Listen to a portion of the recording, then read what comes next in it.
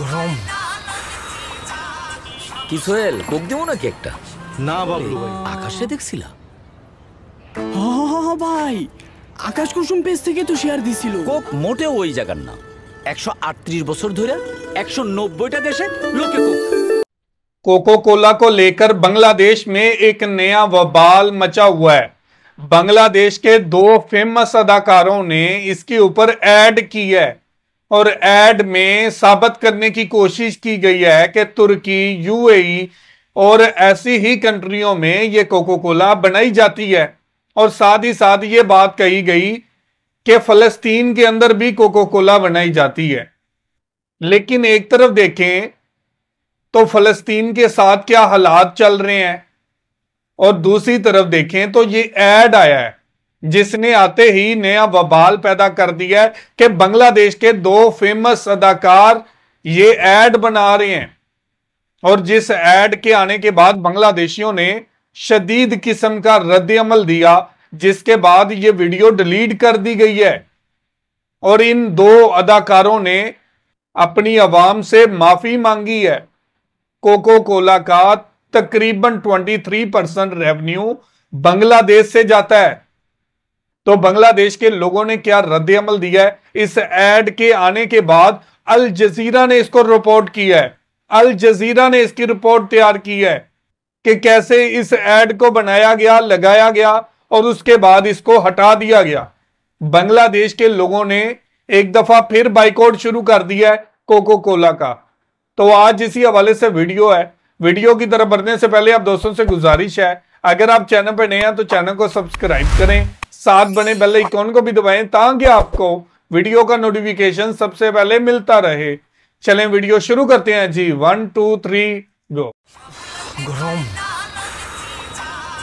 কি সোহেল কোক দেবো নাকি একটা না বাবলু ভাই আকাশে দেখছিলা হ হ, হ, হ, ভাই আকাশ কুসুম পেজ থেকে তো শেয়ার দিছিল কোক মোটেও ওই জায়গার না একশো আটত্রিশ বছর ধরে একশো নব্বইটা দেশে লোকে কোক কোক মোটেও ওই জায়গার না বিতর্কিত বিজ্ঞাপনের বিষয়ে স্বেচ্ছাচারী স্টেটমেন্ট দিয়ে আগুনে নতুন করে ঘি ঢেলেছেন কোকা কোলার বিজ্ঞাপনে কাজ করা অভিনেতা এবং পরিচালক। চরম মিথ্যাচার এবং উপহাসমূলক বিজ্ঞাপনটি প্রচারিত হওয়ার পর তুমুল সমালোচনার মুখে এখানে কাজ করা দুজন অভিনেতা নিজ নিজ বক্তব্য তুলে ধরেছেন। এদের মধ্যে শিমুল শর্মা নামের ব্যক্তি এত সমালোচনার পরেও কোক বয়কটের পুরো বিষয়টিকে প্রোপাগান্ডা বলে অভিহিত করেছেন। বিশেষ ফায়দা লুটার জন্য কোকাকোলা বয়কটের এই জোয়ারকে ধর্মীয় মোড়কে মুড়িয়ে ফেলা হয়েছে এমন ধৃষ্টতামূলক বক্তব্যও তিনি প্রদান করেছেন। যদিও এই প্রতিবেদন তৈরির সময় চাপে পড়ে ক্ষমা চেয়ে আবার পোস্ট দিয়েছেন তিনি সামাজিক মাধ্যমে। অপরদিকে এই বিজ্ঞাপনের মূল চরিত্র সারাফ আহমদ জীবন, যিনি একই সাথে এই বিজ্ঞাপনের পরিচালকও বটে, তিনি দেড় দিনের তীব্র সমালোচনার পর গতকাল রাতে সামাজিক মাধ্যমে একটি স্টেটমেন্ট দিয়েছেন, যেখানে এই বিজ্ঞাপন নিয়ে ক্ষমা চাওয়ার পরিবর্তে উল্টো নিজের অপকর্মের পক্ষে তিনি সাফাই গিয়েছেন।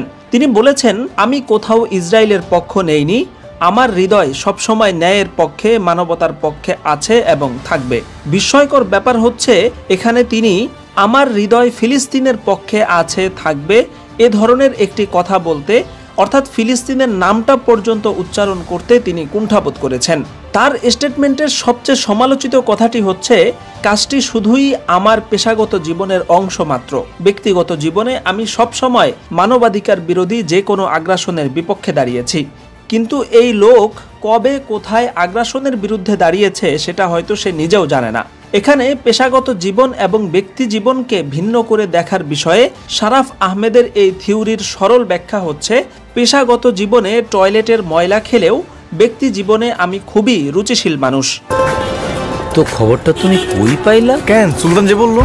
সব মিলিয়ে তীব্র সমালোচনার পরেও এ ধরনের ধৃষ্টতামূলক বক্তব্য প্রমাণ করে, এ দেশের মানুষের ধর্মীয় অনুভূতির প্রতি এদের চার আনারও মূল্যায়ন নেই। বরং তারা বিজ্ঞাপনে এদেশের মানুষকে যেভাবে গুজব নির্ভর অসচেতন মানুষ হিসাবে তুলে ধরেছে, তাতে প্রমাণিত হয় যে এরা এদেশের ধর্মপ্রাণ মানুষকে বোকা, নির্বোধ এবং অশিক্ষিত মনে করে, যারা সামান্য গুগলও করতে জানে না। কিন্তু ফিলিস্তিনে কোকের ফ্যাক্টরি আছে মর্মে, তারা বিজ্ঞাপনে যে দাবি করেছে, এই বোকা মানুষেরাই সেটাকে ভুয়া এবং অবাস্তব প্রমাণ করে দিয়েছে। কোকের ফ্যাক্টরি মূলত পূর্ব জেরুজালেমের আতারত এলাকায় অবস্থিত। ইসরায়েল এখান থেকে ফিলিস্তিনিদের সম্পূর্ণ বেআইনিভাবে উচ্ছেদ করে এই জায়গাটা দখল করে নিয়েছে। এরপর এখানেই কোকাকোলা নিজেদের কারখানা স্থাপন করেছে। এ কারণে আরব লীগ এবং জাতিসংঘ কোকাকোলাকে কালো তালিকাভুক্ত করেছিল। ফলে ফিলিস্তিনে কোকের কারখানা আছে মর্মে বিজ্ঞাপনের দাবি মিথ্যা প্রমাণিত হওয়ার পাশাপাশি এই ঘটনায় এটাও প্রমাণিত হয় যে দখলকৃত ভূমিতে কারখানা স্থাপন করে কোকাকোলা সরাসরি ইসরায়েলের আগ্রাসন এবং দখলদারিত্বে সমানভাবে অংশ নিয়েছে। সামান্য গুগল করতে না পারা দেশের ধর্মপ্রাণ বোকা মানুষগুলোই দেখিয়ে দিয়েছে, কোকাকোলা শুধু ইসরায়েলে আগ্রাসনের সহযোগী নয়, বরং তারা একই সাথে বিশ্বব্যাপী সমকামিতার মতো ঘৃণ্য অপকর্ম প্রচারেরও অগ্রসৈনিক। কোকাকোলার বিভিন্ন দেশভিত্তিক ফ্রাঞ্চাইজির ওয়েবসাইট ভিজিট করে এলজিবিটির সমর্থক পতাকা, তথ্যচিত্র এবং ছবির পাশাপাশি এ বিষয়ে তাদের পরিষ্কার স্টেটমেন্টও পাওয়া গেছে। যেখানে তারা পরিষ্কারভাবে বলেছে যে কোকা কোলা তার পথ চলার দীর্ঘ ইতিহাসে সমকামিতার সমর্থন এবং এই আন্দোলনে অংশীদার হতে পেরে অত্যন্ত গর্বিত। গুগল করতে না জানা বাংলাদেশের ধর্মপ্রাণ মানুষেরা এই ধরনের বিস্ফোরক তথ্য আবিষ্কার করে দেখিয়ে দিয়েছে কেন কোকাকোলা পূর্ণাঙ্গভাবে বয়কট করতে হবে। কাজেই সস্তা বিজ্ঞাপন করে মানুষকে বোকা বানানোর কিংবা সমালোচনার পরে ধোঁয়াশাপূর্ণ স্ট্যাটাস দিয়ে জনসমর্থন ফিরিয়ে আনার কোনো অপচেষ্টাই এখন আর সফল হবে না এদেশের ধর্মপ্রাণ এবং সচেতন মানুষকে হাইকোর্ট দেখানোর দিন বহু আগেই শেষ হয়ে গেছে শাকিল আনোয়ার तो जी व्यूवर ये थी वीडियो और आपने देखा कि किस तरह ये प्रोपोगंडा किया जा रहा है बांग्लादेश के अंदर कि कोको कोला इसराइल की नहीं है, बल्कि फलस्तीन के अंदर इसकी कंपनी है। दुबई, तुर्की, स्पेन इसको इस्तेमाल करती हैं। 190 साल पहले ये बनाना शुरू हो चुकी थी। और किस तरह प्रोपोगंडा किया जा रहा है? लोगों को वर्गलाया जा रहा है। जिसके बाद देखे तो बांग्लादेशियों ने अब भरपूर तरीके से इसका बाइकआउट शुरू कर दिया है। बांग्लादेश के अंदर माफ़ी मांगी गई है इस ऐड को लेकर। और इस तरह का ऐड आना, इस तरह का ऐड बनाना। आप देख सकते हैं कि किस हद तक जाना शुरू हो चुके हैं। और किस हद तक लोगों ने इनका बाइकआउट किया है। एक तरफ़ देखें तो मुस्लिम कंट्री बाइकआउट की बात करती हैं, लेकिन बाइकआउट करता कौन है? कोई भी नहीं करता। सबके सब एक के पीछे एक लगा हुआ है। और आप देखें तो बांग्लादेश के अंदर इस तरह का ऐड बनना और उसके बाद बांग्लादेशियों की तरफ़ से शदीद किस्म का रद्द अमल आना और उसके बाद इस ऐड को डिलीट कर देना। यह साबित करता है कि बांग्लादेशी अब जाग चुके हैं। जिस तरह हिंदुस्तान के खिलाफ इन्होंने कंपेन चलाई थी, अब इसी तरह कोको कोला के खिलाफ भी कंपेन चलाएँगे और मुकम्मल तौर पे कोको कोला को बैन करवाएँगे।